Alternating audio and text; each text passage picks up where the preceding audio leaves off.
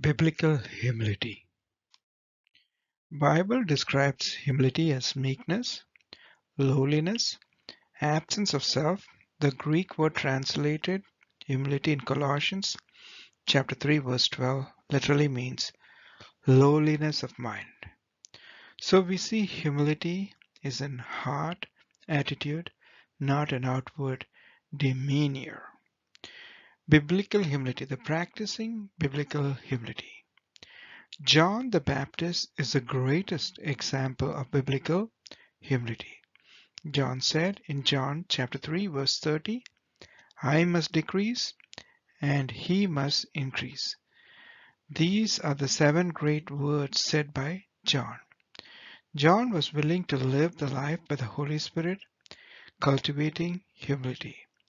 It should be noted that if you feel that he must increase and you do not want to decrease, then that will not work. You must be willing to decrease as he increases his work in you because he uses you and me and lives in you and me. Let us look into Gospel of Matthew chapter 6 verses 9 to 13 is the prayer of the humble, emptying himself. Everything I do is for God's glory, not my glory. This prayer is a prayer model. Some people think highly of themselves, and some people think lowly of themselves. But we need to think for the glory of God's work in us. Also, consider what three of the apostles meant Paul, Peter and James. Humility is a choice. 1 Peter chapter 5 verses 5 to 7. Peter. Humility is a spiritual discipline. Colossians chapter 3 verse 12. Paul. Humility is a spiritual protection. James chapter 4 verse 6. James. Humility if practiced is good. It is better than pride. Pride is the downfall of Satan. By being humble, we gain and not lose anything. It brings with it God's blessing. God gives grace to the humble. We are going to see what Peter said. He wrote in 1 Peter chapter 5 verses 5 to 7. It is all about his choice. He asks us to clothe on ourselves the humble apron of slavery. Then we are going to see what Paul says. He says in Colossians chapter 3 verse 12, Paul says that it is spiritual discipline. Therefore, as the elect of God, the holy beloved, put on therefore in a spiritual discipline. He says about humility. After this, we are going to see what James says in James chapter 4, verse 6. James says that humility is spiritual protection. When we are humble, it protects us from Satan. When we are proud, we are acting like Satan. What if Satan's original sin what caused his downfall? He was filled with pride, and this brought his fall. Pride is the first sin. It's the worst sin. It is a sin God hates. Do all here know that? We are all struggling with pride. Humility is not thinking little of yourself. It is seeking God in your life. It is thinking of God, but pride is thinking much of oneself. The theme of the Bible is God's glory. Psalms chapter 115 verse 1, Romans chapter 11 verse 36, 1 Corinthians chapter 10 verse 31, Philippians chapter 2 verse 11, Revelation chapter 14 verse 7, Revelation chapter 19 verse 1. Here we give glory only to God and to your name be glory. Jesus is co-equal in the Trinity, but he is always subordinate to God. He does the will of the Father. So he will bring the universe in subjection to his Father. Matthew chapter 6 verse 13. God's glory is our goal. It's not the theme of the scripture, it should be our goal. We lost our way by wanting our way. It is known as pride. Paul says we are all gone astray. We want our way, it should be God's way. We are designed to bring glory to God. We should give God glory. We fell to sin and lost our way. We need to restore the relationship and restore the glory to God. We need to be humble to let God do his work in us. In book of James it is said James chapter 4 verse 6 God resists the proud but gives grace to the humble. God resists the proud. He does not want our will. He wants his will. He is at war against every manifestation of our pride. God is looking and resisting pride in our life when pride shows up in our life. But the good news is He is constantly waiting to pour out His grace on the humble, and we need humility for that. The key to God's attention is humility. Humility promotes spiritual blessings. James chapter 4 verses 6 to 10, 1 Peter chapter 5 verse 5. Salvation is turning to God's way and giving up our ways. That is saving us from impending danger through the blood of Christ and His grace. Our greatest enemy is pride, and our greatest friend is humility. Pride is competing with God, humility is submitting to God. Examine ourselves and remove pride as often as possible.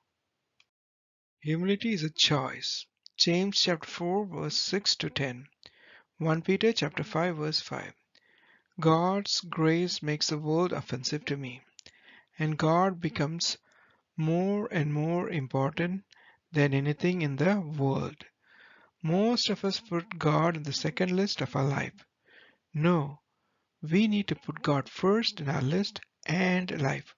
For this, we need humility. We need to be humble first to make God first. Let us turn to Galatians chapter 6 verse 14.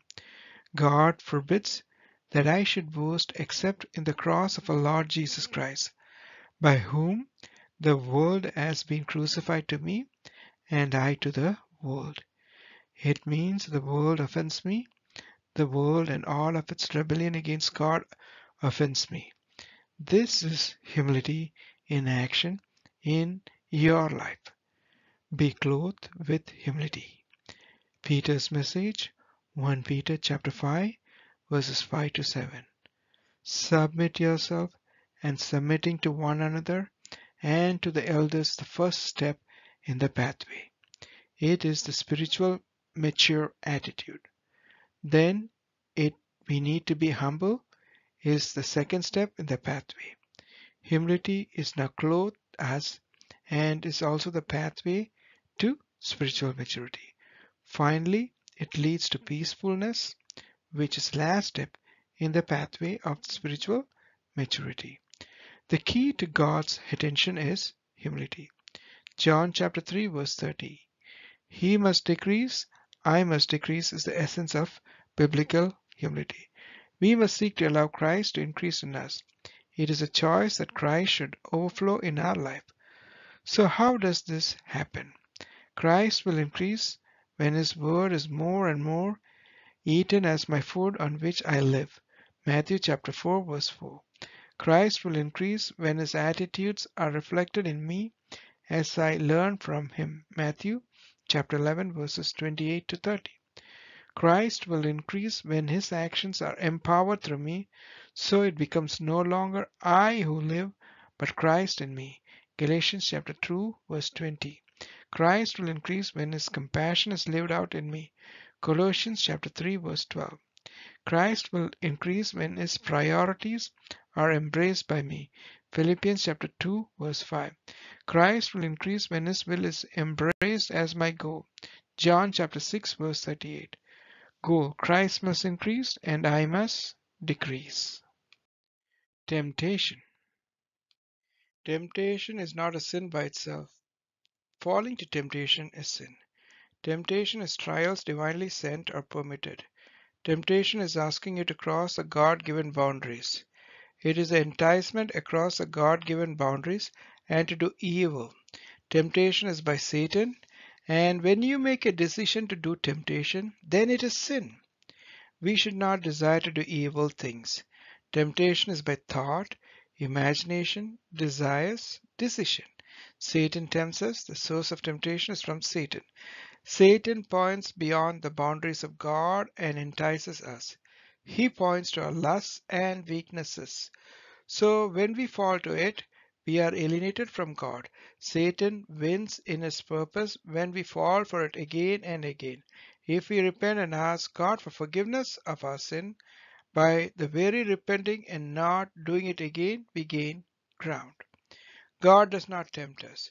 God tests us. Since testing is a season, God allows us to be tried not for defeating us, but He brings us to be tempted, to strengthen us, to teach endurance, to build us in faith.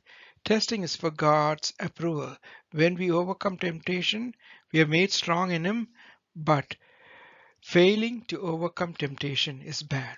We do evil in the sight of God. God allows us to be tested so we are able to sustain, endure, and victoriously overcome through the trials. He allows it. We resist temptation through the Word of God. The thoughts needed to be changed by listening to the Word of God, to the Holy Spirit. It does not mean being tempted to sin, because Satan tempts day and night. He deceives us into it by doing it day and night. He wants to attack a spiritual minded person more and more in attacks. You should become sensitive to sin. He hates God. He wants to destroy the church. Satan attacks believers through temptation. So he tempts us. Temptation can be endured, but the best of the saints, they may be tempted to do worse sins. Psalm 1. There is a reward for a person who resisted the temptation. He has a crown of life. Blessed is the man who overcomes it. Where does temptation come from? Temptation comes from Satan. Evil knocks on the door of imagination. You are under its power. Your own desires and your enticing tempts you and brings death. Where does temptation come in general? After a time of great blessing, when we think we are strong, the adversary tempts us and makes us weak. Temptation comes to every person. Devil attacks those a great threat to him. James chapter 1 verses 14 to 15. Where does temptation come from? Temptation comes from Satan. Satan is a deceiver, liar, cheater. 1 Corinthians chapter 10 verse 13. How does temptation come? The temptation enters to the doorway of mind. It is better to shun the beat rather than struggle in the hook. 2 Corinthians chapter 11 verse 3. Where is the best place to be when temptation comes? The best place to come is to be in the will of God when He bring temptation to us when we are out of this will. Christ was always in the will of the Father. God protects us various ways. God is putting the edge of protection on us. Satan needs permission from God before he attacks us. What is the primary weapon we should use to resist it? The primary weapon we should use for resisting temptation is prayer, reading the Word of God. In prayer, which brings results by the power of the Holy Spirit, we communicated to God regarding the devil, or God knows what we are passing through. He knows what it is. People are tempted to cheat, sexual sins, gamble, drink, and so on. They do it because of temptation.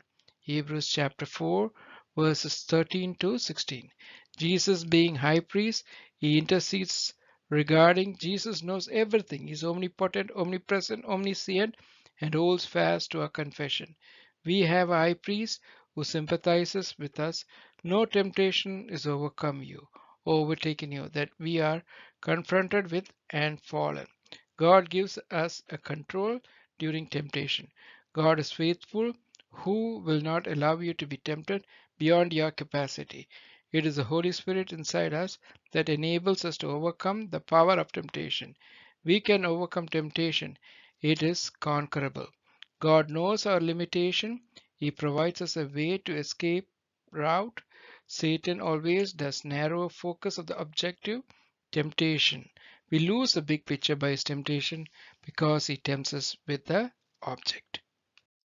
Jesus was tempted by Satan. God understands us so well because he has gone through the difficulties. He faced all the testing we go through. He went through all the kinds of testing and categories lust of the flesh, lust of the eyes, pride of the life. So when we go through testing, whatever type it is, we can look into Christ for guidance.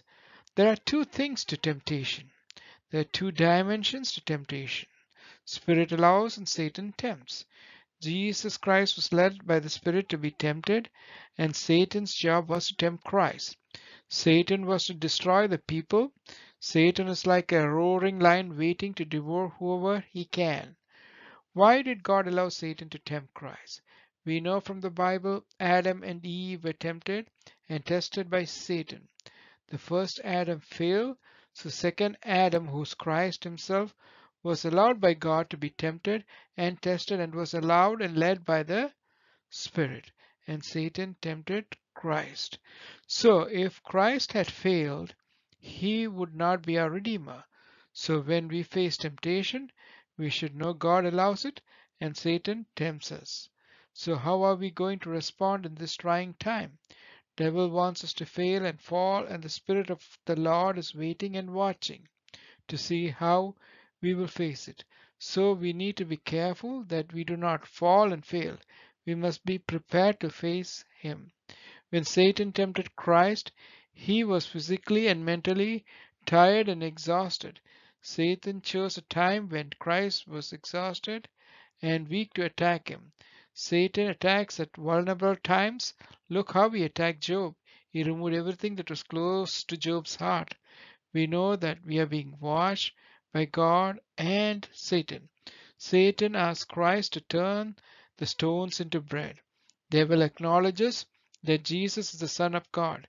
He was acknowledged by God himself when he came out of Jordan River after John's baptism. We read that he was declared that he was the Son of God. Satan asked Christ to turn stones to bread. Now we are hungry. Why don't you turn the stones to food? You are the Son of God. Why don't you do it? He is the Son of God. He could do it, but he was 100% human, so he was hungry. So why was he tempted? The few points to it the lust of the flesh. What is temptation? Why did he resist it? This is a kind of temptation to elevate material needs over spiritual needs. He was in the wilderness 40 days. He was preparing for the spiritual meeting. He was fasting. It was spiritual discipline.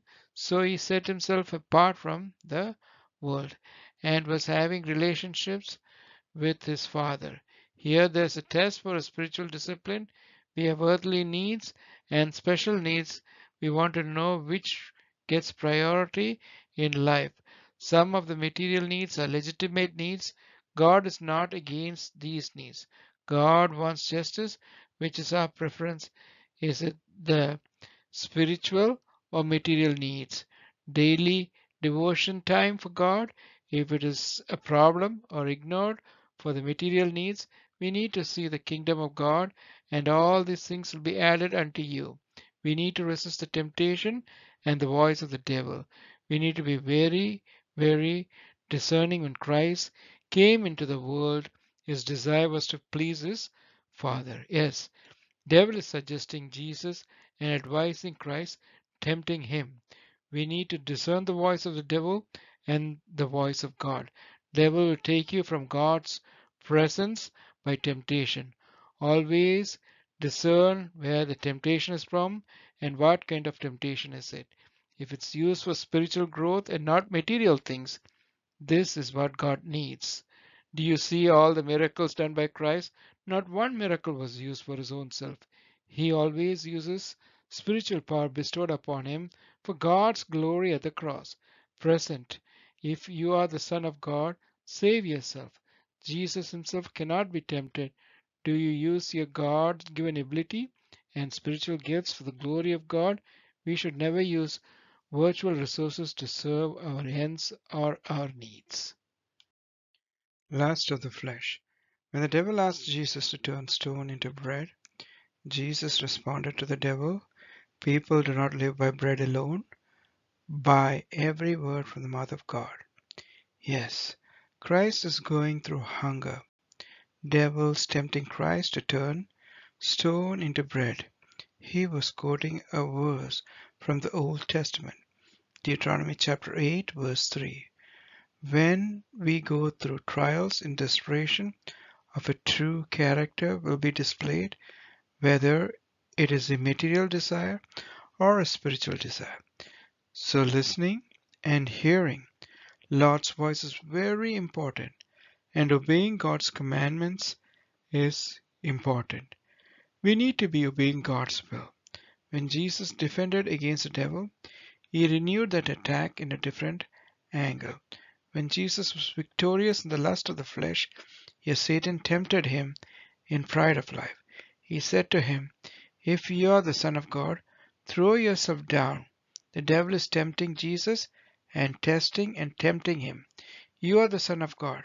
Do this daring act in that in front of everyone. Jesus shows to the devil what is capable of. God is there to protect them from every situation. Here devil is using the Old Testament and tempting him with the pride of life. What is the nature of temptation? Why did he do it? This temptation is done not without God's trustworthiness. It is to test God's trustworthiness. The scripture and also says that you must not test your God, your Lord in the Old Testament. You are trying God. Deuteronomy chapter 6 verse 16. How much do you trust God? You trust His faithfulness. The Lord is able to protect you. Christ is saying you can trust God and resist the devil. It was a temptation to live irresponsibly. Why should Jesus put his life in danger by jumping from the pinnacle? He came to die for us. Jesus knows his Father will protect him. If devil had pushed him down, then Father will save him. But he is asked by the devil whether he needs to control. This is a test from God. We are forgiven and there is no condemnation in Christ. Is it right to sin against God? Do you dare to do anything in life that continues to sin? Samuel chapter 19 verse 13. Lord delivers us from the presumptuous sin. When we accept God's forgiveness and grace, that doesn't give us license to sin. Jesus knows God with saving grace, but he is not testing God. This is a kind of temptation to misappropriation of God's word. Used is the word of God. The devil uses the word of God for testing. By twisting the scriptures, how are we using God's word? The scriptures. Bible can be used anyway but the spirit and sense should be according to God's will. Are we taking God's word lightly? Are we twisting God's word accordingly to our whims and fancies? If he was deceived by diverted by the twist in the scripture and the fall came.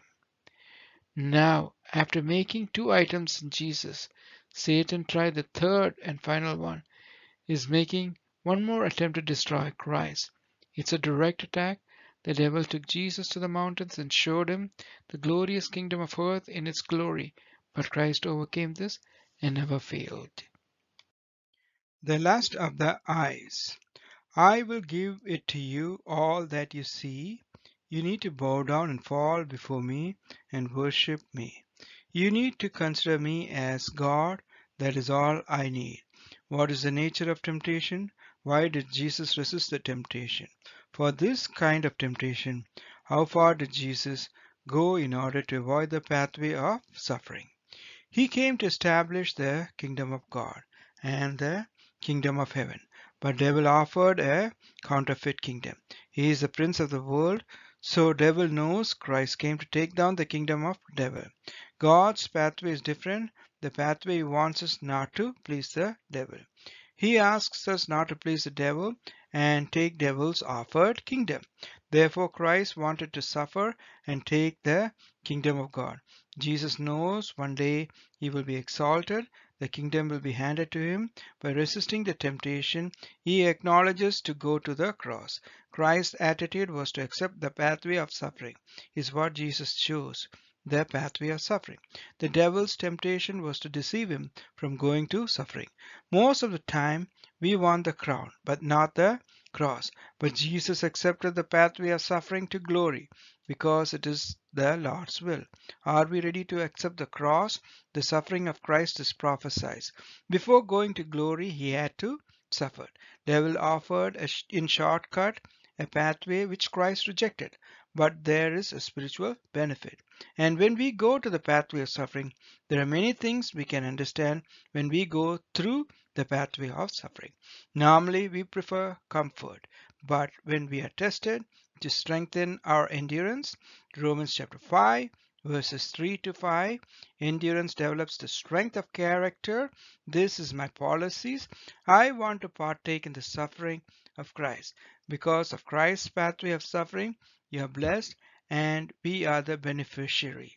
Christ was willing to obey the Father to do everything. At that point, it was an act. Similarly, we need to wait for God's appointed time.